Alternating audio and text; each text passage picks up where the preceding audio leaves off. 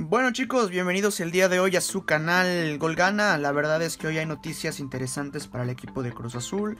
Han venido ciertas actualizaciones que la verdad dejan mucho que decir el día de hoy en cuanto a Reynoso. Se habla de un posible recambio, se habla de la victoria contra el Forge, que pues al final no le gusta al técnico. O sea, hay muchas cuestiones que hoy sí que dejan bastante que desear.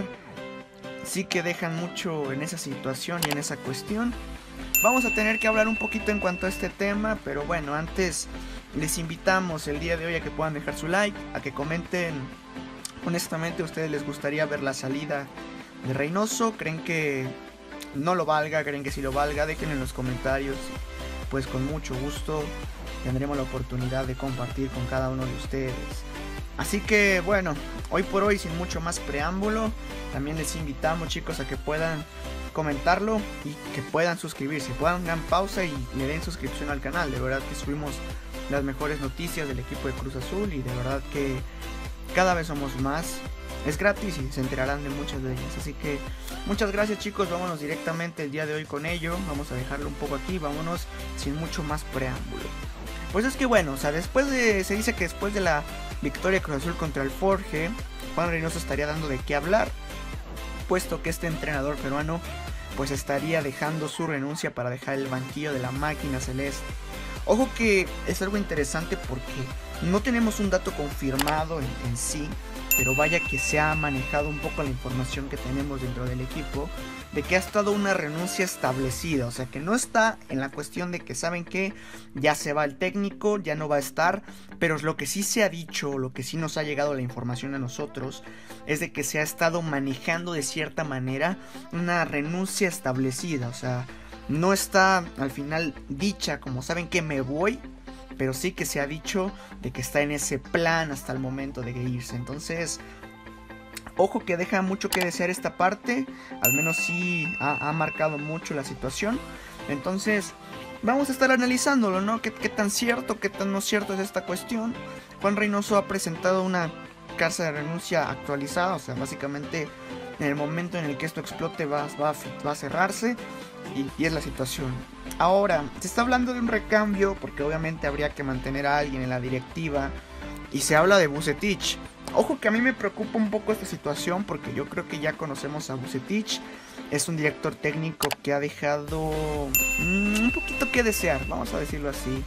Ha dejado un poquito que desear y, lógicamente, pues vaya, ¿no? Se preocupa, al menos a mí me preocupa muchísimo ha dejado un poco que desear en esta situación, pero aún así pues no podemos decirle, ¿saben qué? No nos interesa, hay que dejarla ahí.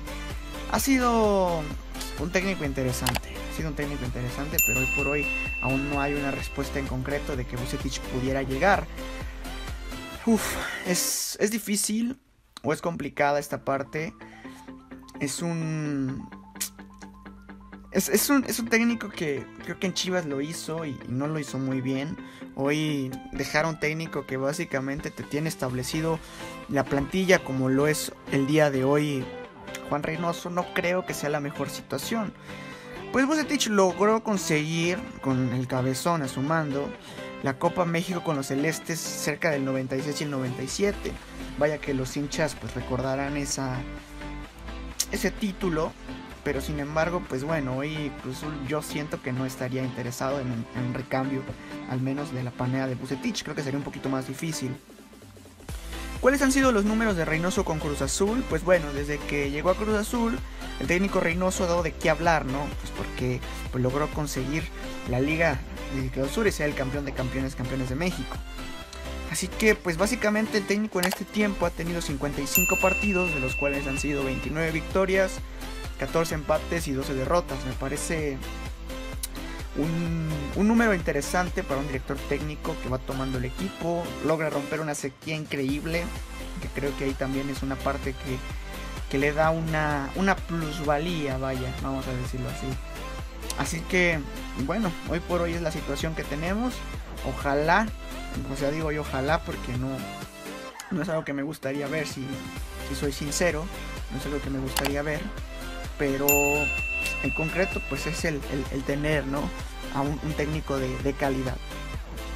Y bueno, hay algo interesante también en esta parte, es que Piojo Alvarado ha hablado un poco de Cruz Azul. Ojo que, bueno, llama la atención muchísimo, puesto que hay que recordar que pues para Roberto Carlos Alvarado la presión es más alta en Chivas que Cruz Azul, ya que la afición es más exigente en el conjunto rojiblanco. Entre comillas dice él, acá en lo poco que tengo creo que hay más presión en Chivas, la afición es muy exigente y está bien. A cada afición le gusta que le dé resultados a la primera. Siempre hay críticas malas, buenas, constructivas, hay que aceptar. Pero todavía no vamos a la mitad del torneo y se entiende que la gente quiere que el equipo siempre vaya bien. Estamos para trabajar. No por perder somos los peores ni por ganar nos vamos a creer el Barcelona. Son cosas puntuales que nos han faltado en los partidos, pero trabajando podemos sacar los resultados.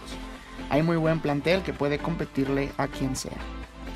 Vaya que de igual manera, pues el Piojo confía que poco a poco va tomando su mejor forma con el Guadalajara. Luego que pues él sabemos que se perdió un buen inicio por la cuestión del COVID. Dice, sí, me tocó la mala. Pero era por algo. Poco a poco me voy sintiendo mejor y retomar la confianza para mostrar mi mejor misión. Yo quiero hacer muchos goles y muchas asistencias para ayudar a mis compañeros. Siempre lo he pensado, los inicios donde esté me cuestan un poco, pero es trabajar todos los días e insistir para poder llevar los partidos y entrenamientos. Me voy sintiendo mejor, pero no es el inicio de que esperaba. Pero voy con un gol y una asistencia. Voy a trabajar para mi mejor versión. Sin duda alguna que Alvarado pues es un, un jugador a respetar, ¿eh? o sea, es muy bueno, me parece que tiene un nivel bastante correcto de fútbol, de juego. Ahora, pues bueno, ¿no? Es desear lo mejor para, para el jugador, que pueda hacerlo lo mejor y que pueda tener un buen nivel de igual manera también. Hoy por hoy, reitero, es, es interesante y bueno, ojalá que también Piojo Alvarado también pueda tener un buen juego allá. Pero vaya que ya he hablado un poco del equipo de Chivas. No sé si extraña Cruz Azul, la verdad es que también es un tema que podría dejar a que desear, pero pues hoy por hoy así la situación, ¿no? Me parece interesante todo lo que ha estado pasando en Cruz Azul. Yo creo que hoy, al menos los partidos que se vengan para Cruz Azul van a ser interesantes. El 20, pues mañana se viene el partido básicamente ya para con Toluca. Honestamente, pues en las posiciones Toluca se encuentra en el nivel número 7 con 9 puntos, un, punto abajo de Cruz Azul. La verdad es que la racha que ha tenido ha sido buena, ha sido buena. Y vamos a ver al final cómo se maneja también esa cuestión, ¿no? Cómo se manejan esos jugadores. Sin embargo, pues desear lo mejor para el equipo, chicos. Gracias por estar de igual manera en el canal. Nos vemos en otra ocasión. Este es su canal Vulgana y pues también les agradecemos muchísimo no olviden dejar su like, comentar, ya saben qué les parece que pueda salir Reynoso y llegar Bucetich. Con gusto lo estaremos leyendo. Les invitamos a que dejen esto y dejamos todo esto de igual. Y nos vemos en otra ocasión. Así que hasta luego, chao chao.